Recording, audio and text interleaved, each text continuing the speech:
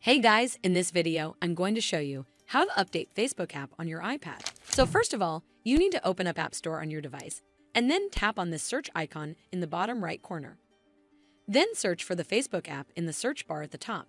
Over here, if you see this update button right next to the app name, simply tap on it to make sure you're running the latest version of the Facebook app. Well, that's how you update Facebook app on your iPad. I hope you found this video helpful. And if you did, make sure you give it a thumbs up to see more videos like this and don't forget to hit that subscribe button. We'll see you in the next one.